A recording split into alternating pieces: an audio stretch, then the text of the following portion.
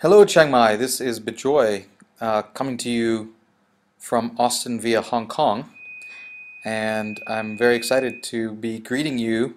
It's been almost a year, just about a year, since I was visiting and uh, had got to spend a wonderful time in uh, Chiang Mai visiting with you and I wanted to congratulate you on a year and hope you have a very fun and uh, insightful entrepreneur week this this year 2013 and I'm reminded of the fact that we talked about these entrepreneurial journeys and the journey of the individual the journey of ventures and the journey of cities uh, and how we have to steward all those three things.